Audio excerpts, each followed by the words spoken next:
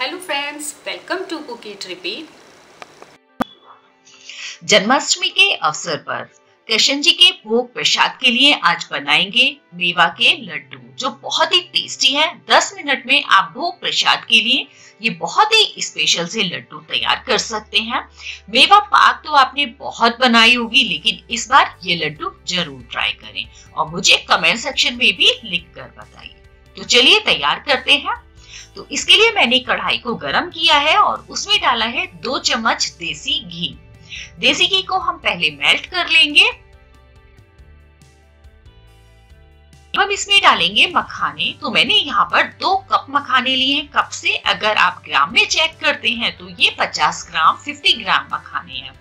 तो मखाने मैंने कप से लिए आप कटोरी से सेट कर सकते हैं या फिर ग्राम के अकॉर्डिंग ले सकते हैं।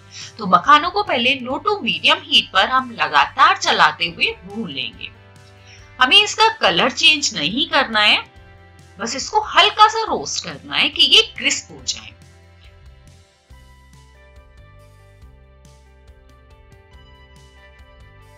ये लड्डू बहुत ही टेस्टी होते हैं और भगवान जी के कान्हा जी के भोग और प्रसाद के लिए जन्माष्टमी पे स्पेशल बनते हैं।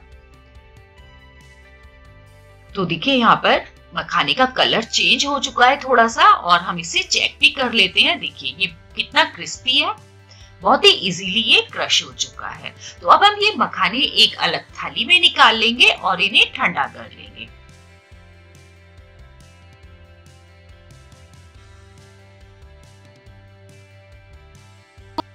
अब हमने कढ़ाई को दोबारा से गर्म किया है और उसमें फिर से डाला है दो चम्मच ही देसी घी। और इसमें हम कुछ ड्राई फ्रूट्स भूनेंगे। तो सबसे पहले मैं यहाँ पर ले रही हूँ बादाम। मैंने 50 ग्राम बादाम लिए हैं। अगर आप मुट्ठी से चेक करते हैं तो एक मुट्ठी ले सकते हैं और एक मिनट तक हम इन्हें रोस्ट कर लेंगे।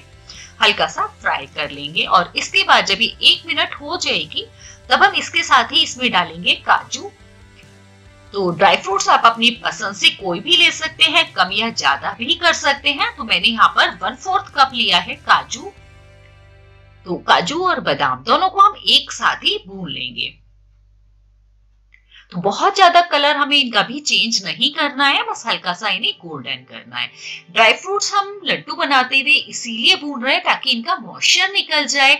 जैसा कि बरसात का मौसम है, लड्डू या कोई भी बर्फ़ी आप बनाते हैं तो बहुत जल्दी खराब हो जाती है।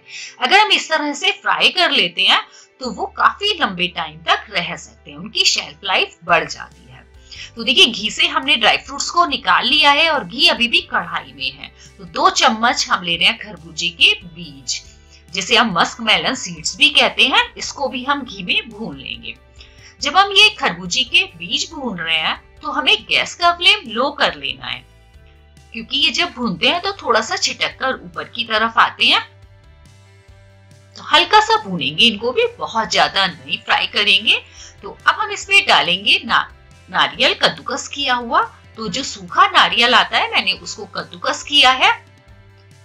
तो आधा कप नारियल हम इसमें भून लेंगे खरबूजे के बीज के साथ ही। तो कुछ मिनट तक ही रोस्ट करना है, केवल एक मिनट तक ही हमें भूनना है। दोनों का कलर चेंज नहीं करना है, बस दोनों को हल्का सा रोस्ट करना है। तो देखिए नारियल और खरबूजे के बीज दोनों ही भून चुके हैं और सभी चीज़ों को हमने प्लेट में अलग अलग ही निकाला है। तो अब वापस से कढ़ाई को गर्म किया है और अब मैं यहाँ पर ले रही हूँ 250 ग्राम मावा। तो ये जो खोया है, मावा है, घर का ही बना हुआ है। तो आप इसे घर पर भी बहुत इजीली तैयार कर सकते हैं। एक लीटर दूध में 250 ग्राम मावा बन जाता है। तो इसे भी हम भून लेंगे। थोड़ा सा कलर इसका हमें चेंज करना है। ताकि हम इसलिए सभी चीज़ें भून रहे हैं ताकि लड्डू जल्दी से खराब ना हो और लंबे समय तक आप इन्हें रख सकते हैं। तो ये लड्डू बहुत ही हेल्दी है, जैसा कि आगे सर्दी का मौसम आने वाला है तो आप बच्चों के लिए भी इसे तैयार कर सकते हैं आगे। ये दिमाग के लिए बहुत अच्छे रहते हैं और हेल्थ के लिए भी बहुत अच्छे हैं। तो देखिए, मावे को भी हमने भून लिया है। कलर मावे का आप देख रहे होंगे चेंज हो चुका है और हल्का सा घी भी छोड़ दिया है खोए ने।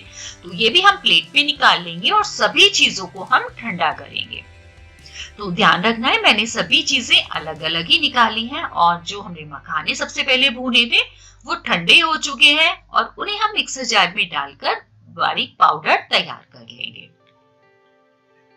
तो खोया भी ठंडा नहीं हुआ है, उसको हम ऐसे ही छोड़ देंगे। और देखिए, मखाने को हमने पाउडर को तैयार कर लिया है। अब हम इसमें बाकी ड्राई फ्रूट्स भी अलग अलग ही पीसेंगे।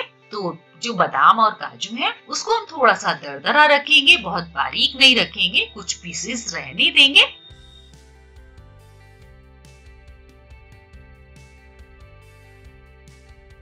तो जो हमने मखाने पीसे थे, उसी में ही हम ड्राई फ्रूट्स का पाउडर भी मिक्स कर इसी तरह से अब हम खरबूजी के बीज और सूखा जो नारियल हमने रोस्ट किया था, उसको भी हम पीस लेंगे।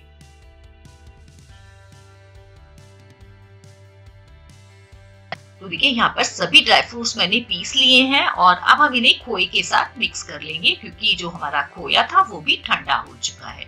और हम सभी चीज़ें मिक्स कर लेंगे। अब हम यहाँ पर लड्डू बनाने के लिए चाशनी बना रहे हैं तो मैंने लिया यहाँ पर आधा कप चीनी और आधा कप से भी आधा हम इसमें पानी डालेंगे। बहुत ज़्यादा मीठा मैंने नहीं रखा है, चीनी आप अपने टेस्ट के अकॉर्डिंग भी कम या ज़्यादा कर सकते हैं। तो अब हमें चाशनी तैयार करनी है तो हमें लो मीडियम हीट पर इसे लगातार चलाते रहेंगे, जब तक हमारी चीनी घुल नहीं जाती है। जब चीनी घुल जाती है तो हम इसे छोड़ देंगे और तीन से चार मिनट इसे पकने देंगे। तो देखिए, यहाँ पर चीनी घुल गई है और उबाल भी आ गया है और तीन से चार मिनट के बाद हम इसे चेक करेंगे क्योंकि हमें लड्डू बनाने के लिए एक तार की चाशनी की ज़रूरत होगी। तो देखिए, अब तीन से चार मिनट हो गई है। एक बार हम इस पैचुला पर चाशनी को लेकर इस तरह से तार को चेक कर लेंगे। तो देख रहे हैं ना आप, एक तार बन चुका है। गैस का फ्लेम हम यहाँ पर बंद कर देंगे और जो हमारा लड्डू का मिक्सचर था, एक बार उसे मिक्स कर लेंगे हाथ से। तो अब हम इसमें वो चाशनी डाल देंगे जो हमने अभी तैयार की थी। तो चाशनी बहुत ज़्यादा गर्म है, हमें ध्यान रखना है कि ये हम हाथ से प्रोसीजर नहीं करेंगे, जब चाशनी मिक्स करेंगे, हम इसे स्पैचुला से ही मिक्स करेंगे। क्योंकि अगर हाथ जल जाएगा, गर्म बहुत ज़्यादा होती है इस समय पर चाशनी।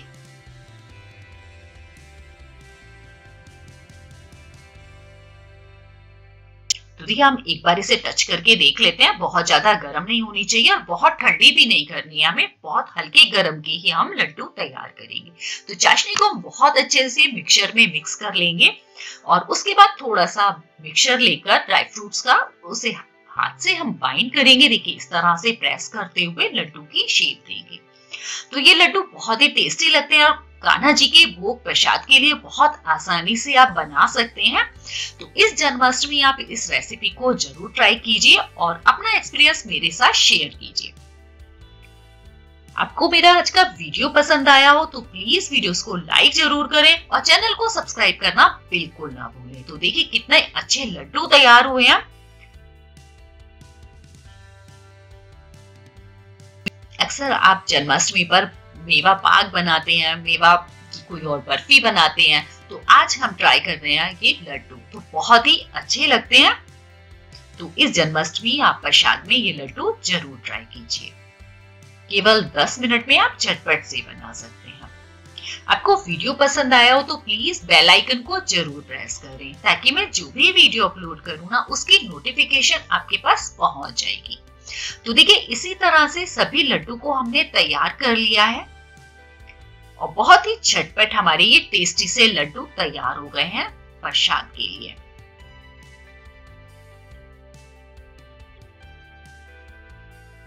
तो मैं यहाँ पर एक लड्डू आपको खोलकर भी दिखा देती हूँ कि कितने सॉफ्ट हमारे लड्डू बने हैं। आ रहे ना, देखते ही मुँह में पानी। तो देखिए, यहाँ पर कितने सॉफ्ट लड्डू तैयार हुए हैं।